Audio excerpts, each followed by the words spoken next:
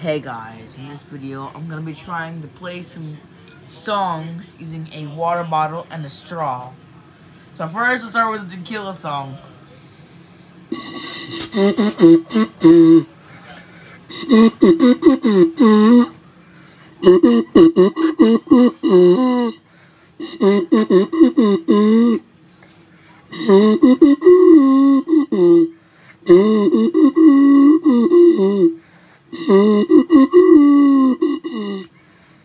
All right, now I'm gonna try to play the national anthem.